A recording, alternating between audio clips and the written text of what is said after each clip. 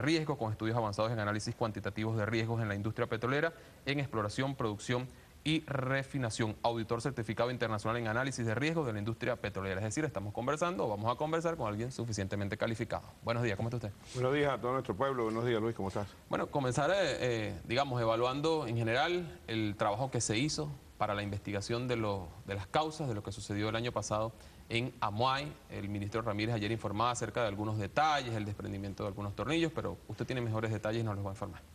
Fíjate, este es para nosotros un evento muy serio eh, y como tal es investigado de manera muy rigurosa.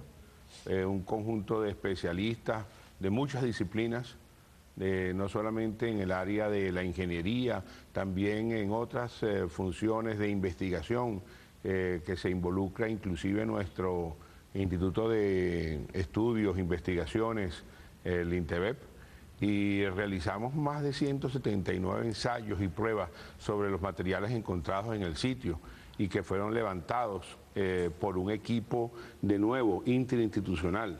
No solamente estuvo Petróleos de Venezuela en esta investigación, además también fue eh, acompañada, conducida de cierta manera por la Fiscalía General de la República y por los organismos de seguridad del Estado.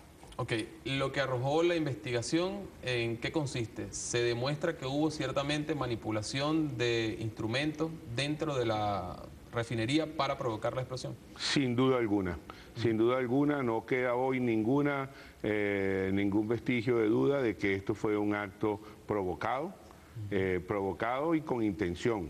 No se trata de, no se trata de un accidente, quisiera eh, corregir en eso. Eh, un accidente es algo inesperado que ocurre mm, por otras causas. En este caso eh, se involucra alguien directamente o un conjunto de personas directamente a intervenir un sistema que de hecho es el sistema más rígido en el conjunto del, del, sistema bomba de bombeo, pues el conjunto de la bomba P2601, que en ese momento se encontraba vinculada a la esfera de a la 209, una esfera de olefinas en la refinería. ¿Cómo se ejecutó el saboteo? Es decir, ¿en qué consistió? Fíjate, el saboteo consiste en la intervención de la brida base. La brida es una, básicamente la base que integra el conjunto de bomba motor con el cabezal de succión de la bomba, con la base donde se encuentra el pozo de succión de la bomba. Esa brida fue intervenida, aflojada intencionalmente, nuevamente insisto en esto porque eh, el levantamiento de la información que hoy disponemos nos refleja, nos indica que el perno número 5, el espárrago número 5 de este conjunto fue retirado fue removido. ¿Cuántos espárragos tenían que estar allí? Son, ocho, son ocho. espárragos en total. Y precisamente em, cuatro espárragos adyacentes todos ellos eh, al, conjunto este, al espárrago número 5, fueron, el espárrago número 5 fue retirado y el espárrago número 6, que es adyacente a este, fue aflojado y aflojados tanto así para que le quedaran solamente dos hilos del espárrago unidos a la tuerca.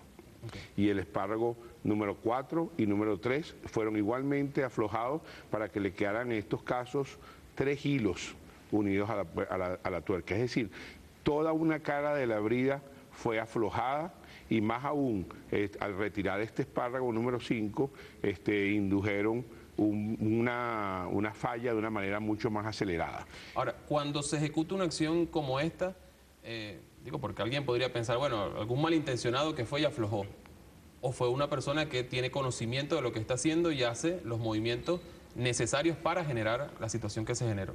¿Cuál de los dos casos fue? No, sin duda tenía conocimiento y mucho conocimiento, no solamente sobre qué intervenir, no intervinieron cualquier equipo de la refinería, intervinieron un sistema que maneja un producto sumamente volátil, sumamente inflamable, es decir, intervinieron uno de los sistemas de mayor potencial de riesgos que, tiene la refinería, intervinieron el equipo en el